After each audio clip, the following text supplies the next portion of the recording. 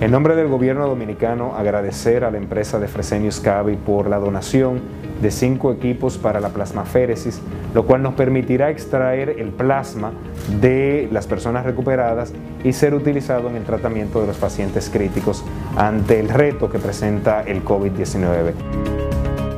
Es un proceso automático de extracción automática de la sangre y la separación dentro de esa extracción del plasma ese plasma entonces es el que se va a utilizar, plasma de pacientes eh, convalecientes, de pacientes que ya tuvieron la enfermedad COVID y que ya fueron curados. Ese plasma tiene los anticuerpos y ese plasma es el que se va a utilizar en pacientes críticos.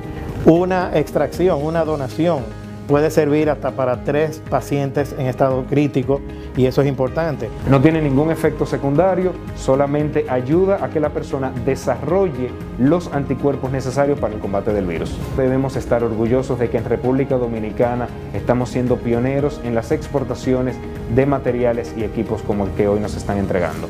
Estamos seguros de que vamos a ver muchos pacientes, muchos dominicanos sanándose, curándose de esta terrible enfermedad y con eso podemos tener una lucha mucho más efectiva contra el reto del coronavirus.